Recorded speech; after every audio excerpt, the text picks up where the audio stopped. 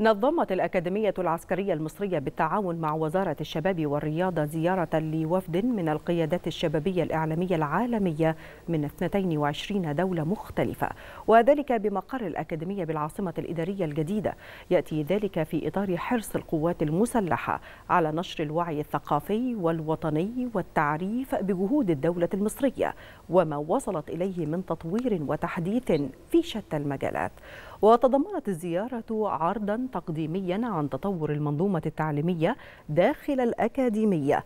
أعقبها جولة للمنشآت التعليمية والتدريبية والقاعات الدراسية التي تم تصميمها وفقا لأحدث الأسس العلمية الحديثة. وأعرب الوفد عن شكرهم للقوات المسلحة عن تنظيم مثل هذه الزيارات للتعريف بمنظومة التأهيل داخل الأكاديمية.